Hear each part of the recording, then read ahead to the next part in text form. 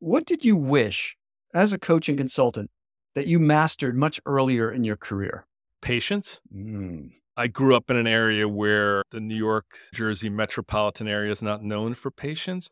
And I'm sure there was patient people where I lived. I just didn't interact with a lot of mm. them. Understand that my clients are fast moving and they want things done no matter where they are in the world.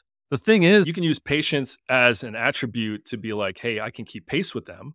But it's also great to know when to create some space and to be able to slow down and look at things differently because of patience. And use your weakness as a strength when you know how to parlay it. But uh, if I was a little bit more patient, maybe some things would have happened because I would have been like not in the now, I would have been in the future.